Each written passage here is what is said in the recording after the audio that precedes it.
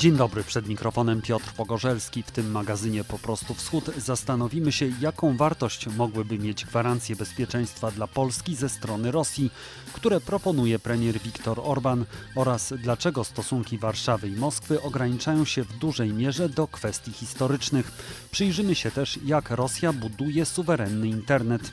Na początku dziękuję wszystkim, którzy wspierają moje podcasty. W tym tygodniu szczególnie Klarze i Adamowi, którzy dołączyli do moich patronów.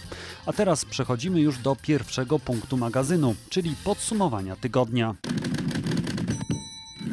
W piątek prezes Związku Polaków na Białorusi Angelika Borys oraz szefowa struktur tej organizacji w Lidzie Irena Biernacka usłyszały zarzuty w ramach sprawy karnej o podżeganie do nienawiści. Działania aktywistów, m.in. akcje upamiętniające antykomunistyczne podziemie, są oceniane jako rehabilitacja nazizmu. W czwartek takie zarzuty postawiono innym członkom kierownictwa organizacji Andrzejowi Poczobutowi i Marii Tiszkowskiej. Wszystkim grozi od 5 do 12 lat więzienia. Postępowanie z tego samego artykułu toczy się wobec działaczki polskiej z Brześcia Anny Paniszewej. Aleksandr Łukaszenka wycofuje się z obietnicy ograniczenia swoich uprawnień. Rządzący w Mińsku teraz mówi, że władza prezydenta na Białorusi, kto by nie zajmował tego stanowiska, powinna pozostać silna. Według ostatnich zapowiedzi projekt nowej konstytucji powinien pojawić się do końca roku, a w przyszłym ma się odbyć referendum w jego sprawie. W dyskusji na temat zmian w ustawie zasadniczej biorą udział niemal tylko zwolennicy Aleksandra Łukaszenki. Pozostali nie są do niej dopuszczani. Zaostrzenie sytuacji w Zagłębiu Donieckim. We wtorek szef ukraińskiego sztabu generalnego generał Rusłan Homczak powiedział, że Rosja zwiększa liczebność swych wojsk przy granicy z Ukrainą. Zaniepokojenie z powodu mobilizacji rosyjskiego wojska wyraziło też NATO. W czwartek rzecznik Władimira Putina Dmitrij Pieskow oświadczył, że ruchy rosyjskich wojsk nie powinny niepokoić innych krajów i że Rosja przemieszcza swoje siły według własnego uznania. Prezydent Ukrainy Wołodymyr Zeleński powiedział, powiedział, że prężenie muskułów w postaci ćwiczeń wojskowych i ewentualne prowokacje wzdłuż granicy to rosyjska tradycja. Prezydent napisał też, że eskalacja w Zagłębiu Donieckim jest widoczna od początku roku. W tym okresie zginęło 20 żołnierzy, a 57 zostało rannych. Opozycjonista Aleksiej Nawalny poinformował w środę, że ogłosił głodówkę w kolonii karnej. Powodem jest jego zły stan zdrowia i fakt, że nie jest do niego dopuszczany zaproszony lekarz. Aleksiej Nawalny ostatnio skarżył się na ból kręgosłupa i niesprawność prawej nogi. Teraz również w niektórych miejscach lewej nogi stracił czucie. Według rosyjskiej redakcji BBC podczas pandemii koronawirusa w Rosji władze wydały miliardy rubli na system obserwacji i kwarantanny osób kontaktujących się z prezydentem Władimirem Putinem. Na przykład z Rządowego Funduszu Rezerwowego wydano ponad 6 miliardów rubli, czyli ponad 84 miliony dolarów, na obserwację stanu osób, które miały się kontaktować z szefem państwa. Były one kwaterowane w hotelach i sanatoriach, gdzie spędzały na obserwacji od tygodnia do dwóch. Byli to piloci, stewardesy, które obsługują loty Władimira Putina, pracownicy administracji prezydenta oraz osobiści fotografowie i operatorzy Władimira Putina, a także dziennikarze. Zaczynamy od Węgier i od czwartkowego spotkania w Budapeszcie premierów Polski i Węgier Mateusza Morawieckiego i Viktora Orbana oraz szefa włoskiej ligi Matteo Salviniego. Moim gościem jest dr Dominik Hej z Instytutu Europy Środkowej. Dzień dobry. Dzień dobry. Padły pewne deklaracje w czasie tego spotkania, na przykład dotyczące renesansu Europy, dotyczące gwarancji bezpieczeństwa, dotyczące także walki e, z cenzurą, ale jeżeli by pan mógł e, podsumować to spotkanie, to czy coś z niego wynikło? Jeżeli nie teraz, to czy coś wynikło na przyszłość? Wynikło tyle, że wiemy, że następne spotkanie będzie e, w maju, prawdopodobnie w Warszawie. E, a kolejne zapewne w Rzymie.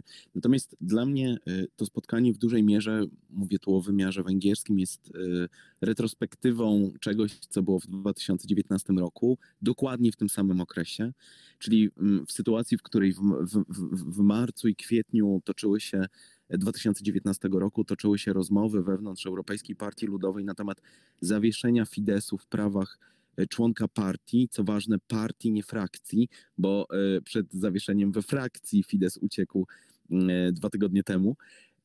I to był moment, w którym Viktor Orban groził, że jeżeli w ogóle dojdzie do głosowania na temat wyrzucenia Fidesu z Europejskiej Partii Ludowej, to on zorganizuje nową formację. Byliśmy wówczas w takim momencie, gdzie brakowało nam mniej więcej dwóch miesięcy do wyborów europejskich i Viktor Orban e, chciał zbudować taką narrację, w której do wyboru jest Europa Macrona, Europa otwarta, prezydenta Francji, e, Europa pogłębiająca integracji versus jego, ta tradycyjna, troszkę eurosceptyczna, wzmacniająca parlamenty narodowe. I żeby było ciekawiej, to wtedy Viktor Orban mówił o renesansie Europy i konieczności stworzenia y, nowej formacji, która będzie renesansem Europy. W związku z tym, słuchając wczoraj premiera Węgier, miałem wrażenie, że mm, to są powtarzane fragmenty już z 2019 roku, z których nic nie wyszło, dlatego że wyniki e, wyborów do Parlamentu Europejskiego pokazały, że jednak czy Lewica, czy Europejska Partia Ludowa wciąż są bardzo silne, czyli jakby nie powiódł się plan e, premiera Orbana. No i mieliśmy też usłyszeć już dużo więcej na temat y, ewentualnego porozumienia w Parlamencie Europejskim. Miała być podpisana Karta Wolności, o której była mowa, o której mówił Matteo Salvini. Nic takiego nie widzieliśmy. E, w związku z tym e, to, to spotkanie, e, ja nie twierdzę, że nie będzie żadnego sojuszu na przyszłość. Natomiast myślę, że dla wielu osób to, to było dość duży zawód, jak to wyglądało. Viktor Orban wydaje mi się, że jest takim politykiem, który umie zagrać na arenie międzynarodowej także swoimi partnerami dla swoich jakichś potrzeb wewnętrznych, czy też właśnie w polityce zagranicznej, na przykład w kontaktach z Brukselą, czy też z Berlinem. Czy to spotkanie też można y, powiedzieć, że ono zostanie instrumentalnie wykorzystane do własnych interesów Viktora Orbana. Wewnętrznych na pewno, natomiast czy na forum Parlamentu Europejskiego nie mam już takiego e, poczucia, dlatego że Fidesz jest obecnie w grupie niezrzeszonych e, polityków, czyli jego oddziaływanie w, w kwestiach też agendy e, unijnej, węgierskiej agendy unijnej, no jest dużo mniejsze. I to jest taki moment też ciekawy, w którym nagle partnerzy wyłożyli Kartę na stół. E, PiS ma 27 mandatów, Salvini 28, e, jego liga. Natomiast Fidesz 12, bo e, koalicjant KDNP został w Europejskiej Partii Ludowej. No i to jest sytuacja, która nawet od politycznej strony wygląda nie umniejszając absolutnie ambicjom węgierskiego premiera, że kiedy on mówi, że tutaj jesteśmy jako najsilniejsi i tak dalej, no w węgierskiej perspektywie z siły rażenia w Parlamencie Europejskim i w Unii mam wrażenie, że została wykonana mocna wolta e, wstecz, to znaczy e, parasol ochronny e, Europejska Partia Ludowa bardzo długo roztaczała nad Fidesem. Fides mógł dzięki temu przeforsować sporo rzeczy ważnych dla niego. Natomiast obecnie jest na marginesie i to jest duży problem, w którym Fidesz wkomponował się sam i którego skutki dużo zależy od, od dużych obecnych partii w, w Parlamencie Europejskim, E, czy te konsekwencje ujdą mu na sucho, tak to nazwijmy, czy faktycznie staną się dotkliwe. Na razie wydaje się, że, że bardziej staną się dotkliwe aniżeli mniej. Mieliśmy też e, parę deklaracji. Viktor Orban mówił między innymi o tym, że nie ma rozbieżności, nie ma punktów sprzecznych dotyczących e, kwestii polityki wewnętrznej, jak i polityki zagranicznej. Czy rzeczywiście możemy tak powiedzieć? Ponieważ no, wiemy, że przynajmniej Matteo Salvini jest osobą bardzo życzliwą Władimirowi Putinowi, prezydentowi Rosji, w ogóle Rosji. Viktor Orban też, chociaż przypuszczam, że trochę jednak mniej od Matteo Salviniego. Więc, y, no ale jest, jest jeszcze tutaj w tym triumviracie też Polska, która raczej ma zupełnie inne stanowisko. Więc skąd taka deklaracja o tym, że nie ma rozbieżności? Ona została skorygowana w, w wywiadzie dla węgierskiego radia 2 kwietnia o poranku kiedy premier mówił, że my mamy, e, węgierski premier, że my w wielu rzeczach się nie zgadzamy, ale zgadzamy się na przykład w polityce migracyjnej. Nie mam żadnego poczucia, że partnerzy zgadzają się ze sobą e, w polityce zagranicznej. Ja na Włochach się nie znam, więc tego wątku nie jestem w stanie pociągnąć, ale spójrzmy na wątek e, polsko-węgierski. Jesteśmy w momencie szczególnym, w którym e, wojska rosyjskie znowu się uaktywniły na Ukrainie i trzeba cały czas mocno przypominać, jaki jest stosunek Węgier do Ukrainy, e, gdzie mm, e, węgierski premier, jak i szef węgierskiej dyplomacji wielokrotnie mówili niejako przekazem Kremla, że Ukraina to państwo upadłe. Domagając się utworzenia autonomii na Zakarpaciu w momencie szczególnym, kiedy Rosja przeprowadzała inwazję na, na Krym, w momencie, w którym węgierskie władze sta, blokują wszystkie możliwe, chociaż głosują za ostatecznie, ale jakiekolwiek sankcje na Rosję z powodu ich aktywności na, na Ukrainie, czy jeszcze innej rzeczy, jaką było to, że Węgry blokują też E, sankcje mm, dotyczące Białorusi, uważając, że Polska angażuje się tam wyłącznie dlatego, że ma swoją mniejszość.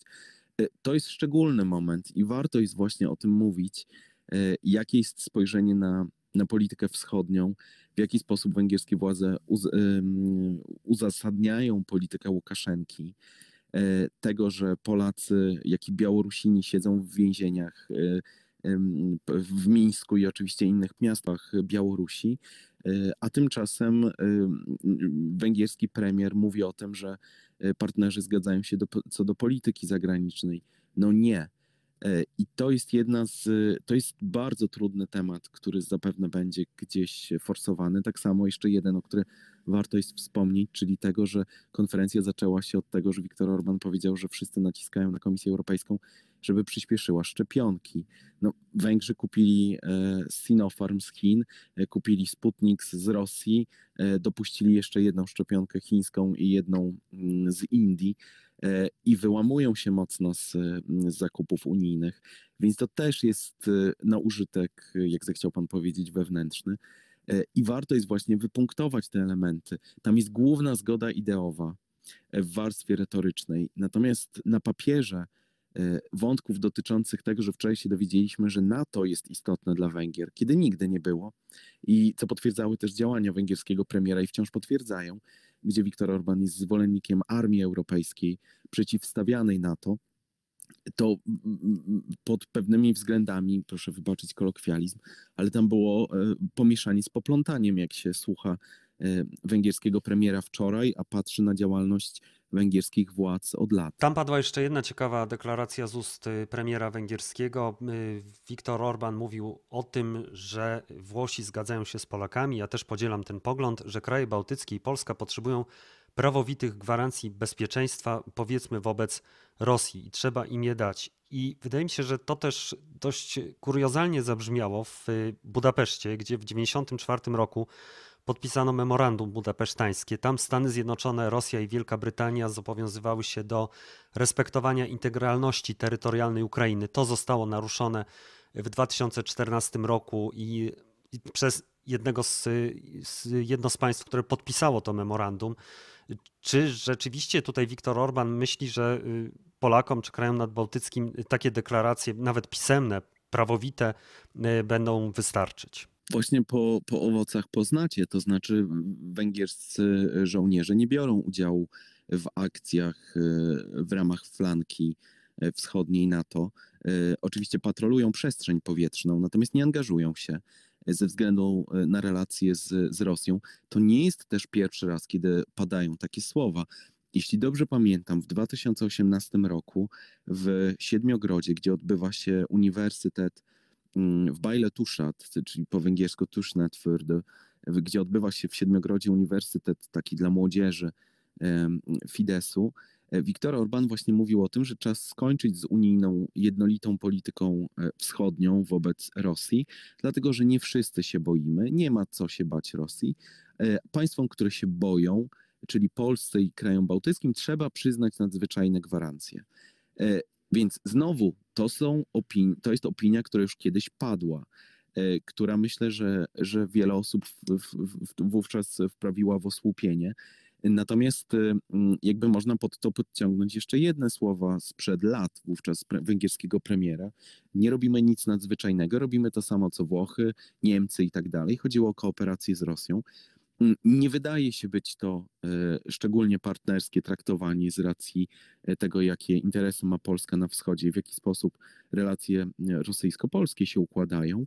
Natomiast przynajmniej w fazie retorycznej zapewne stąd takie, taka informacja, że NATO jest takie ważne, żeby pokazać, że Węgrzy nie będą współpracować z Rosją. Ale znowu, jeżeli sobie przypomnimy, jakie były kontrowersje w sprawie mm, dostaw rosyjskich pojazdów opancerzonych do Serbii, przez jakie państwo miały być dostarczone pomimo embarga, że węgierski szef minister, y, minister spraw zagranicznych mówił o tym, że on nie ma wiedzy, co lata w każdym samolocie w przestrzeni węgierskiej, powietrznej, a oczywiście były tam te pojazdy e, i innego zaangażowania, choćby w Turcji, tak, oczywiście państwa NATO, ale jak mocno współpracującego z Rosją, to nie wydaje się być specjalnie szczere i puentując tę refleksję, w 2015 roku, kiedy takie duże emocje wywołała wizyta E, Putina w Budapeszcie, emocje w Polsce. E, znowu Peter Siar, to szef MSZ-u, powiedział, że on rozumie Polaków i ich relacje z Rosją, natomiast e, nie wolno jest łączyć relacji historycznych z biznesem i po prostu realizowany jest węgierski interes. I jak najbardziej realizowany jest węgierski interes, ale trzeba zobaczyć, ile punktów stycznych węgierskiego interesu jest z interesem polskim poza warstwą właśnie E, ideową czy wartościową. Żeby już zamknąć ten rozdział polityki międzynarodowej, y, jedno pytanie, dlaczego y, premier Viktor Orban zaszczepił się chińską szczepionką, a nie rosyjską? Czy to była też jakaś deklaracja polityczna? Oczywiście, że tak, dlatego że w czasie szczytu 17 e, plus 1 Viktor Orban e, dziękował przywódcy Chin za to, że Chiny udzieliły tak dużej pomocy. Ja postawiłem taką tezę, być może gdzieś kontrowersyjną. Ambasadorem szczepionki chińskiej na Węgrzech jest Viktor Orban, rosyjskiej e, Peter Siarto, to się sprawdziło. Viktor Orban szczepił się już dwukrotnie Sinopharmem, e, Peter Siarto na razie przyjął jedną dawkę Sputnika. E, no i to było wszystko w takiej retoryce, że gdyby nie polityka wschodnia, gdyby nie Chiny, gdyby nie Rosja, Węgrzy by umierali, dlatego że dostawy są z Unii zbyt wolne. Natomiast to był dowód czy pokazanie elektoratowi Fidesu, nie macie się czego bać, po prostu się tym szczepcie. I jeszcze jedna kwestia, to co zostało wczoraj powiedziane też z ust węgierskiego premiera, i to jest też związane z epidemią koronawirusa. Y, premier powiedział, że mówimy nie cenzurze. Nie wiem, czy miał na myśli cenzurę w mediach, ale media węgierskie, niezależne, których została garstka, jak rozumiem, zarzuciły władzom y, właśnie cenzurę, czyli nie wpuszczanie ich y, do szpitali, gdzie leżą y, chorzy na koronawirusa. Jak ta sytuacja teraz wygląda i jak władze na to odpowiedziały? 28 redakcji różnych węgierskich wystosowało list do rządu, aby zniósł embargo na wypowiedź lekarzy dla mediów, a także właśnie pozwolił na wejście do szpitali przedstawienie faktycznej sytuacji, która ma miejsce w służbie zdrowia, a nie tej malowanej, która jest e, pokazywana mm, w mediach publicznych, e, a, także szeroko, nazwijmy to, prorządowych, o których kiedyś rozmawialiśmy. No i co odpowiedział rząd? Szpitale są od leczenia, nie od wpuszczania kamer, aczkolwiek media prorządowe mają nieograniczony dostęp wejścia do, do, do, do szpitali covidowych, także do rozmów z lekarzami. A tu chodzi o to, że mm, wbrew temu, co się E, mówi albo jak pokazuje sytuację na Węgrzech, pomimo tego, że faktycznie współczynnik szczepień jest bardzo wysoki i jest już chyba pierwszy w Europie, e, w Unii Europejskiej, o tyle e, duży problem jest właśnie w wskaźniku śmiertelności, liczby osób, które leżą w szpitalach i tego, jak można się nimi opiekować, jakby wydolności służby zdrowia. No ale dzięki temu, że media niesprzyjające nie wejdą do środka, nie będą o to e, pytały, w związku z tym ta narracja dla elektoratu mm, Fidesu e, będzie dobra. A pamiętajmy, że jesteśmy rok przed wyborami parlamentarnymi, e, więc, więc to jest już istotne, żeby budować wizerunek ugrupowania, które sobie bardzo dobrze z pandemią poradziło. Doktor Dominik Hej, Instytut Europy Środkowej, dziękuję bardzo. Dziękuję. A my zaraz przeniesiemy się do Rosji, gdzie wybory parlamentarne odbędą się jeszcze w tym roku. Spojrzymy teraz bliżej na stosunki polsko-rosyjskie. Rzeczniczka MSZ Rosji Maria Zacharowa oświadczyła, że przyjęła z zadowoleniem słowa nowego polskiego ambasadora w Moskwie Krzysztofa Krajewskiego o chęci normalizacji stosunków, ale na razie Rosja nie widzi ze strony Polski woli politycznej unormowania relacji. Moim gościem jest Ernest Wyciszkiewicz, dyrektor Centrum Polsko-Rosyjskiego Dialogu i Porozumienia. Dzień dobry. Dzień dobry. Maria Zacharowa wymieniła później całą listę grzechów, jej zdaniem grzechów strony polskiej. Dotyczą one przede wszystkim kwestii historycznych. Czy my możemy powiedzieć, że stosunki Moskwy i Warszawy sprowadzają się tylko do nich? To znaczy, jeżeli patrzymy na to, co się dzieje w mediach, to właściwie dyskusja jest jedynie y, o kwestiach historycznych. Jeżeli spojrzymy na to, co słychać z Moskwy w ostatnich dwóch, trzech latach, to w istocie rzeczy tematyka historyczna zdecydowanie dominuje, bo przypomnijmy, co miało miejsce w tym czasie. Ogromny artykuł Siergieja Naryszkina o mm, pakcie Ribbentrop-Mołotow, cała akcja przeprowadzona przez prezydenta Putina, kilkukrotnych wystąpień publicznych, czy do Rosjan, czy przywódców WNP, środowisk biznesowych i wojskowych, dotycząca historii i zwłaszcza relacji z Polską, w której próbował nas obciążać współodpowiedzialnością za wybuch II wojny światowej. Potem artykuł prezydenta Putina w e, takim amerykańskim periodyku. E, cała operacja przygotowana po to, aby w rocznicę e, zakończenia II wojny światowej, wielkiego zwycięstwa w Wielkiej Wojnie Ojczyźnianej, jak preferują mówić to Rosjanie, aby Polska stała się swego rodzaju wrogiem historycznym numer jeden i, i, i miała taką gębę w cudzysłowie klinicznego rusofoba. I to jest kontynuacja w jakimś mierze tego, co, czego jesteśmy świadkami od, od, od kilku lat. Rzeczywiście pewnej inercji w myśleniu Rosji o Polsce, E, ja powiem, bo było jeszcze bardzo ciekawe wydarzenie dwa tygodnie temu, e, niezwykle interesujące, ponieważ gdy miała miejsce rocznica stulecia podpisania traktatu ryskiego, e, wówczas doszło do, w Moskwie do zorganizowania dużej konferencji w formie okrągłego stołu poświęconej temu wydarzeniu, ale też publikowaniu przez archiwa rosyjskie nowych dokumentów w tej sprawie. I w tym spotkaniu, które zaszczycił specjalnym listem prezydent Putin, występował tam Siergiej Ławrow, y, Władimir Mediński, doradca prezydenta, obecnie były minister kultury y, Siergiej Naryszkin, szef wywiadu, jednocześnie prezes Towarzystwa Historycznego. Całe to spotkanie poświęcone było Polsce w istocie rzeczy. Oczywiście w kontekście historycznym wojny polsko-bolszewickiej, jednak w ciągu no, tych, tych dwóch godzin zebrała się rosyjska śmietanka y, osób kształtujących politykę historyczną e, państwa rosyjskiego i w zasadzie zajmowała się wyłącznie Polską, co pokazuje, no ja bym powiedział nawet swego rodzaju obsesję, jeżeli chodzi, chodzi o rosyjską stronę i to w jaki sposób e, na tym poziomie politycznym postrzega się relacje z Polską. Właśnie, bo tutaj pan mówi obsesję i to y, też się stosuje innych krajów, bo na przykład jeżeli włączymy rosyjską telewizję, można odnieść wrażenie, że najważniejsze sprawy, jakie się dzieją, to są sprawy nie w Rosji, a na Ukrainie, ponieważ ten kraj jest bardzo często omawiany. E, ale jeżeli chodzi o relacje z Polską, czy ta historia, sprawy historyczne są wykorzystywane, czy też Moskwa liczy na to, że wykorzystując te sprawy zmieni poglądy Polski na inne kwestie, na przykład gospodarcze, nie wiem, Nord Stream 2, czy tu jest już stricte taka walka o to, kto ma rację co do interpretacji pewnych faktów historycznych. Znaczy, nie sądzę, żeby rosyjskie elity władzy obecne miały jakąś nadzieję, że e, zmienią postrzeganie problemów historycznych w Polsce czy wśród polskich elit. Raczej e, tego rodzaju oświadczenia mają e, innych adresatów. Znaczy, przede wszystkim to jest oczywiście rosyjska opinia publiczna E, i próba szukania w tej materii historycznej no, jednego ze źródeł legitymizacji władzy. Zwłaszcza sprawy dotyczące II wojny światowej, gdzie jest dosyć duża wrażliwość rosyjskiego społeczeństwa, jeżeli chodzi choć no, o, o na przykład mit założycielski w istocie rzeczy, jakim była Wielka Pabieda, e, to wszelkie, wszelkie próby obciążania Polsko, Polski grzechem niewdzięczności za e, e, ostateczny rezultat II wojny światowej są tak naprawdę wykorzystywane w relacjach z społeczeństwem rosyjskim, którym się pokazuje, że my jesteśmy strażnikami, e, strażnikami tego fundamentu tożsamości rosyjskiej. To jest jeden adresat. Drugi adresat to są też państwa europejskie i zachodnia opinia publiczna. Tutaj skuteczność jest mizerna tych działań. Niemniej E, niewątpliwie władze rosyjskie dostrzegają e, pewien poziom napięć, jaki funkcjonuje w Unii Europejskiej. E, to są relacje Polski z Komisją Europejską, to są pewne napięcia między członkami Unii Europejskiej. One, są, one zawsze występowały, niemniej dzisiaj mamy pewnego rodzaju spiętrzenie tych problemów wewnątrz państw wspólnoty zachodniej.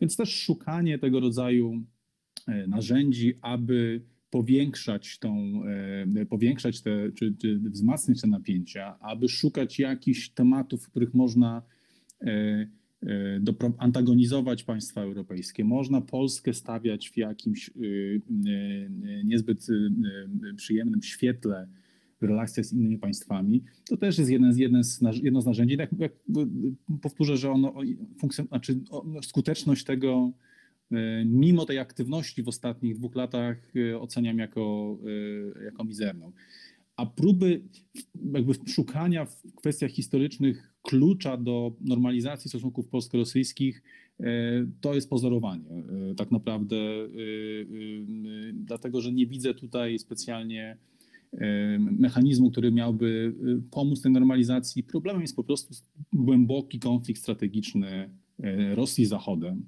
Polityka Polski i też polityka Rosji wobec Polski w dużej mierze jest pochodną tego, co się dzieje po agresji rosyjskiej na Ukrainę. Problematyka historyczna jest tutaj wyłącznie, wyłącznie narzędziem, które ma w jakiejś mierze wspierać rosyjskie działania na gruncie właśnie informacyjnym czy dezinformacyjnym lepiej. I no, raczej nie sądzę, żeby rosyjskie władze rzeczywiście widziały w tej materii jakieś narzędzie do, E, poprawy relacji, korzystają raczej z niego bardzo instrumentalnie. Czy to, co się dzieje teraz na Białorusi, czy to też jest y, kolejnym takim punktem, czy też terytorium, które stanie się terytorium spornym właśnie dla Polski i Rosji, tak jak Rosja to postrzega, tak? Na przykład rewolucje na Ukrainie, działania na Ukrainie, te oskarżenia, które są, że Ukraina to już jest kolejny stan Stanów Zjednoczonych. No oczywiście Polska jest tutaj pośrednikiem. Białoruska propaganda też tak przedstawia Polskę. Czy tutaj też możemy się spodziewać takiego samego, tej samej interpretacji, tylko też ze strony rosyjskiej? E, e, myślę, że mm, e, tak, dlatego że ta konferencja, o której wspomniałem, dotycząca wojny polsko-bolszewickiej, była o tyle ciekawa, że brał tam udział też przedstawiciel archiwów białoruskich i tam się pojawiały takie tezy, które brzmią bardzo aktualnie w kontekście rosyjskiej propagandy historycznej dzisiaj, zwłaszcza w kontekście kryzysu białoruskiego, bo na przykład taka teza, że oto mamy do czynienia, czy mieliśmy do czynienia z pewnym konfliktem imperializmów polskim, e, polskim i, i rosyjskim e, i że w zasadzie e, Białoruś była ofiarą tego sporu.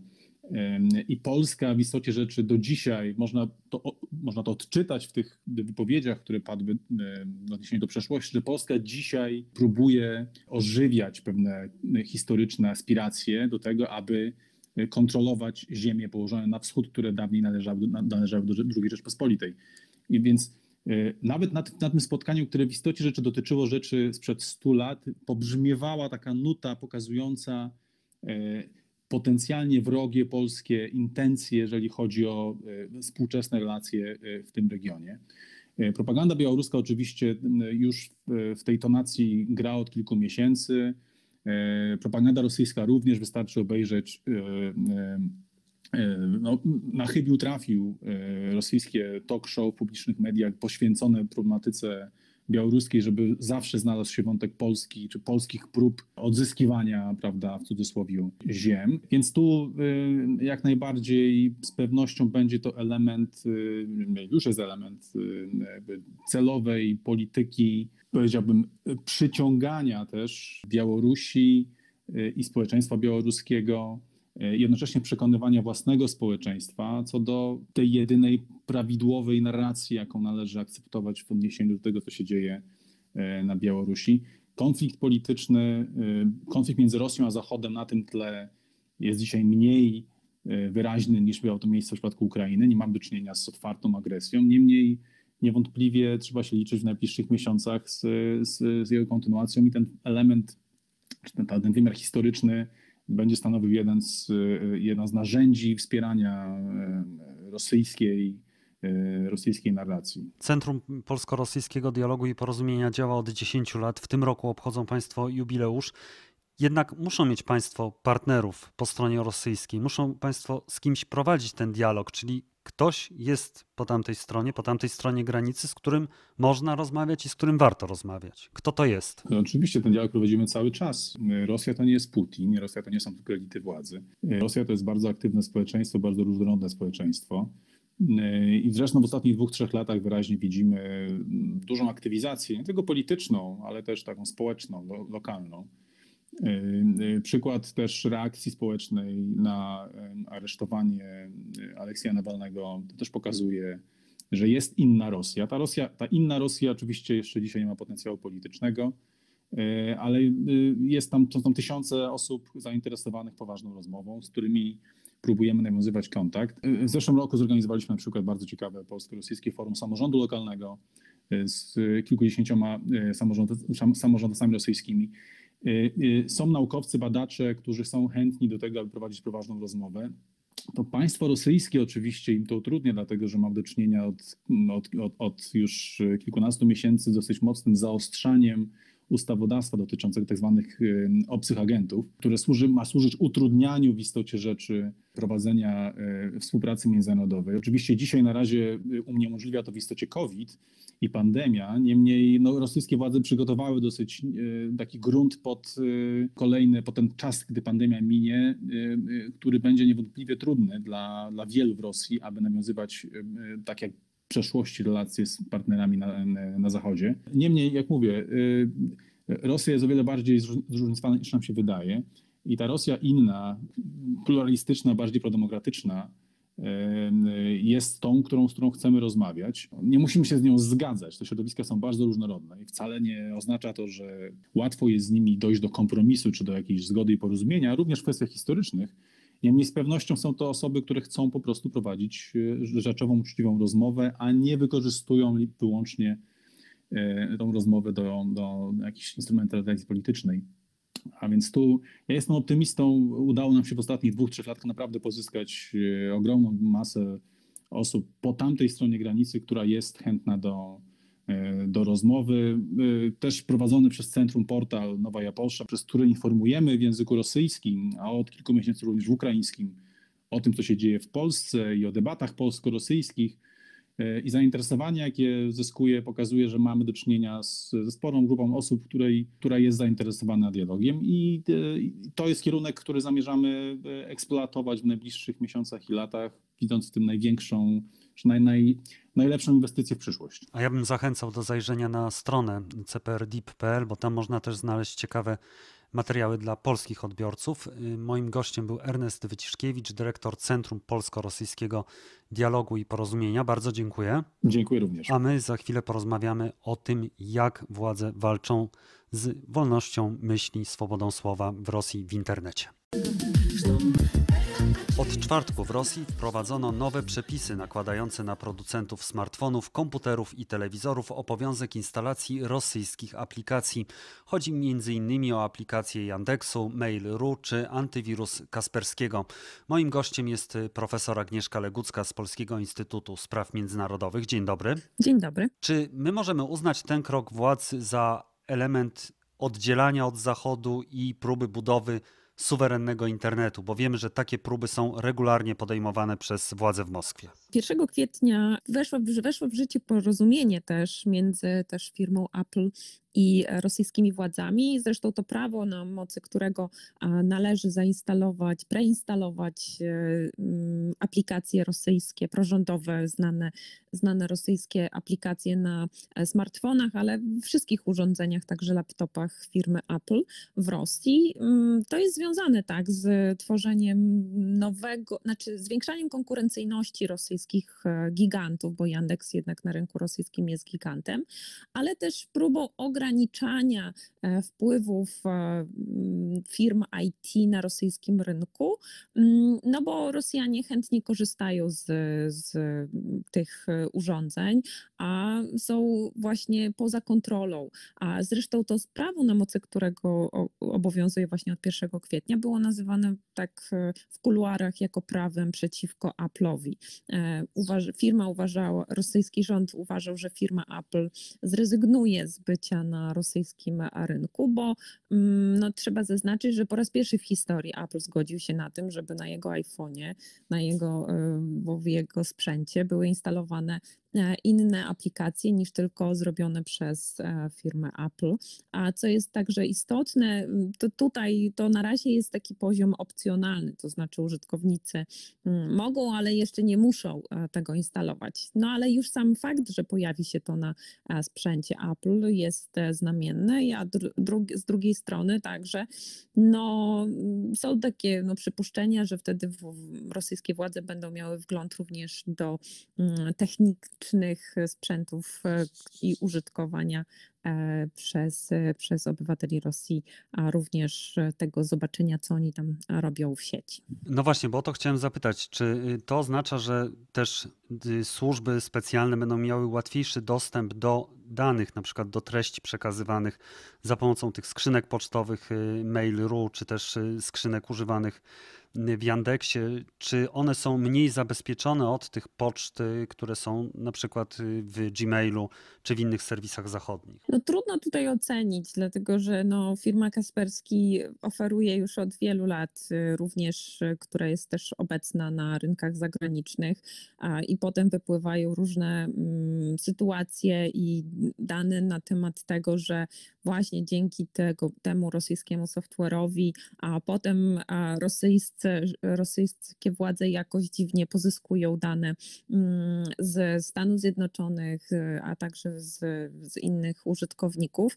No więc są przypuszczenia, trudno mi tutaj teraz oceniać technikalia tego, tego przedsięwzięcia, no ale biorąc pod uwagę dotychczasowe doświadczenia, to tak, rosyjski software jest tym softwarem, który bym nazwała raczej raczej jako takim ryzykownym e, dla użytkownika, bo do końca nie ma się pewności, czy te wszystkie zabezpieczenia, albo w szczególności właśnie, czy potem to nie trafi do służb specjalnych rosyjskich ich i właśnie te nasze dane e, będą niebezpieczne. W tej naszej rozmowie już się przewinął ten termin suwerenny internet, ale powiedz mi więcej, na czym on polega? Czy to oznacza, że Rosja jest w stanie w jednym momencie się oddzielić od całego światowego internetu, zamknąć się i też zamknąć dostęp swoich użytkowników do tych serwisów, które mają serwerzy poza granicami Federacji Rosyjskiej. W ogóle mówienie o suwerennym internecie jest trochę zaprzeczeniem idei samego internetu, prawda? Bo internet to jest ta globalna sieć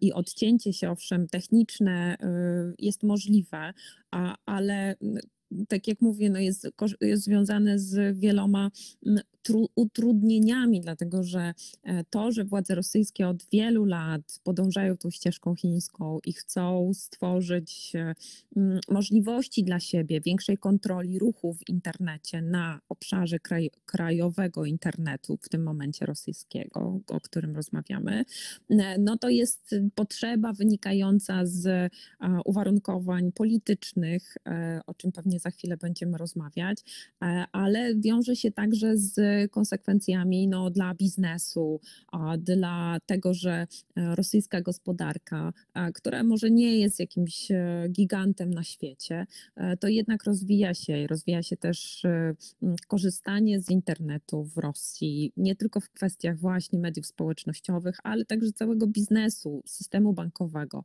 Więc o ile technicznie można coś zrobić, tak, odciąć, odciąć Rosjan od internetu, ale koszty, jakie się z tym e, wiążą, są gigantyczne, gigantyczne dla i rosyjskiej gospodarki, ale także myślę, że mm, dla także niepokojów społecznych, e, dla takiego miru społecznego, na którym też zależy władzom.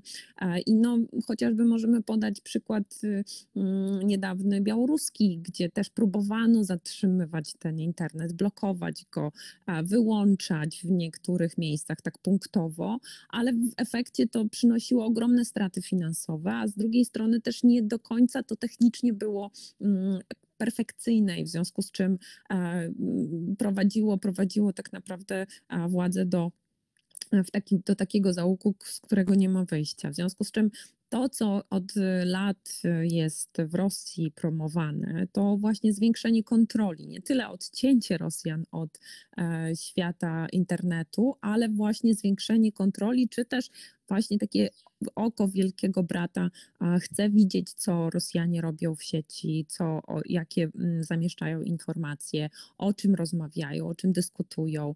I w tym kontekście są mm, różnego rodzaju regulacje prawne, które tych Rosjan bardziej aktywnych, niechętnych władzy, a krytykujących obecny system będą w stanie wyłapywać, a wskazywać, jeżeli taka wy, wymaga tego potrzeba polityczna, e, ale mm, no, właśnie tak jak wspomniałam, no samo odcięcie to, to jest e, bardzo ryzykowne. Czyli ja rozumiem, że tutaj wzorcem jest, wzorcem są Chiny, tak? Bo na przykład całkiem niedawno Aleksandr Łukaszenka o tym mówił, że właśnie dostęp do internetu powinien być wzorowany na Białorusi, na Chinach. Rozumiem, że Rosja chce też podążać tą samą drogą. No tylko, że Chiny są trochę innym przykładem. Oni tworzyli w innym systemie e, internet już z założenia jako taki, który byłby otoczony takim murem, w który można by było odciąć i stworzyć coś w rodzaju intranetu, nie tyle internetu, tylko wewnętrznego internetu. Ale też w Chinach to też nie działa, to znaczy też użytkownicy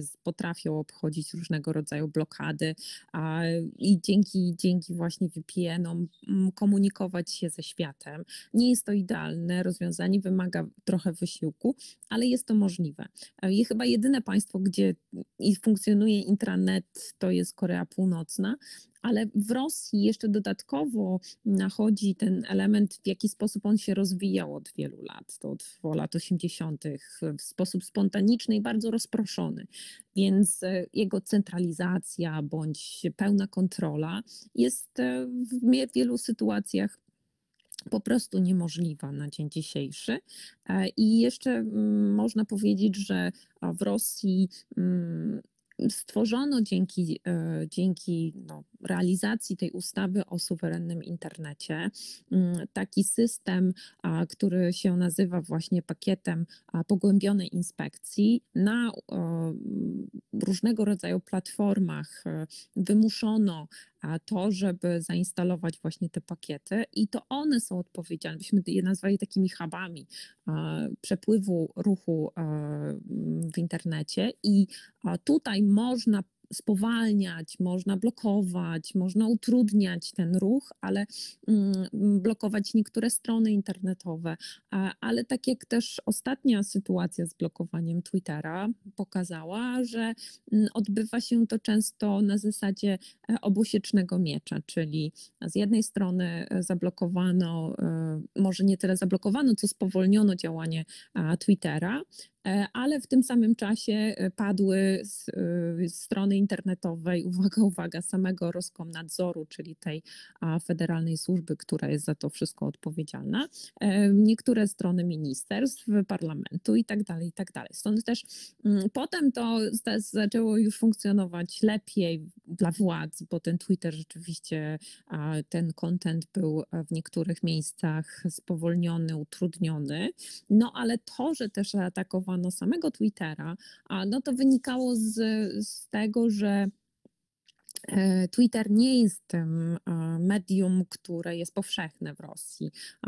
Spośród takich mediów społecznościowych znanych, no to mm, jest najmniej używany. To bym powiedziała, taka jest to bańka informacyjna może dla dziennikarzy, dla niektórych polityków, e, a szersze nie jest szersze zainteresowanie Rosjan nie zyskuje. Stąd też to miał być taki crash test e, sytuacji właśnie wdrożenia tych e, pakietów, wprowadzenia ich w życie i zobaczenia w jaki sposób to działa, to z jednej strony, a z drugiej mm, jako sygnał ostrzegawczy, bo za tym poszły mm, e, ze strony Roskomnadzoru również takie naciski, że Twitter powinien usunąć na przykład konta Michała Chodorkowskiego, jego organizacji, a potem, potem pojawią się na pewno kontenty, znaczy informacje o tym, żeby usuwać treści związane czy za Aleksiem Nawalnym i tak dalej, i tak dalej. Docelowo myślę, że nawet samo zablokowanie Twittera mm, w Rosji jest możliwe, ale tak jak mówię, ono nie, nie przyniesie takiego rezonansu, jakby na przykład zablokować e, YouTube'a, bo YouTube stał się po prostu medium bardzo powszechnym w Rosji, bardzo chętnie oglądanym, łącznie z tym, że tam te informacje, filmiki mm, pojawiają się również takie, które krytykują władzę tak? Ale z drugiej strony na YouTubie można sobie pooglądać 60 e, minut, najbardziej propagandowy program rosyjskiej telewizji, a w związku z czym no Twitter, e, nie przepraszam, YouTube stał się takim medium powszechnym w Rosji. Tutaj pani mówiła o tych możliwych stratach ekonomicznych, stratach gospodarczych, ale najważniejsze chyba w tej sytuacji mają być zyski polityczne, zyski związane z między innymi z wyborami, które mają się odbyć e, w tym roku jesienią do e, Państwowej Dumy. I tutaj chyba władze muszą naprawdę zawalczyć e, albo można powiedzieć o ten elektorat młodzieżowy, który korzysta z internetu, albo wręcz przeciwnie, z tym elektoratem walczyć, właśnie blokując e, dostęp do internetu. I chyba te kroki podejmowane przez władze właśnie trzeba bardziej postrzegać w tym kontekście, w kontekście walki politycznej i możliwych zysków. Oczywiście, tak. To idea y, suwerennego internetu ma przede wszystkim wymiar wewnętrzny i związany jest z systemem autorytarnym, czyli potrzebą kontroli przekazu, kontroli mm, tego, w jaki sposób komunikuje się ze społeczeństwem, bo nagle mm, rosyjskie władze okazały się w sytuacji po pierwsze zmiany pokoleniowej, gdzie większość, prawie 100% młodych ludzi korzysta z informacji i wierzy bardziej temu, co czyta w mediach społecznościowych i w, na platformach internetowych różnego rodzaju komunikatorów, prawda?